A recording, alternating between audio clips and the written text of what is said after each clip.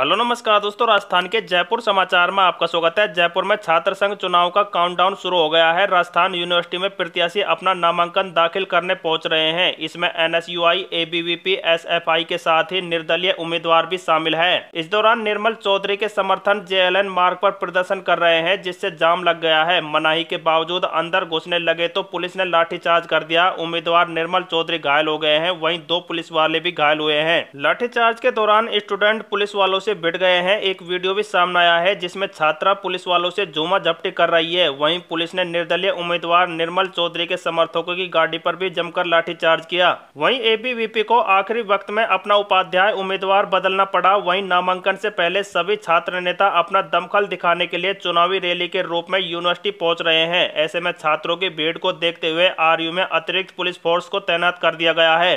इस दौरान एबीवीपी के उपाध्याय पद की उम्मीदवार नेहा शर्मा अपना नामांकन दाखिल नहीं करा पाई है, फ़ीस जमा नहीं करवाने के कारण नामांकन नहीं कर पाई। इसलिए आखिरी वक्त पर एबीवीपी को अपना उम्मीदवार बदलना पड़ा। ट्विंकल शर्मा को उम्मीदवार बनाया गया है। सो दोस्तों, आरयू से बेहद ही बड़ी खबर थी। वीडियो को लाइक, शेयर, कमेंट ज़रूर करें।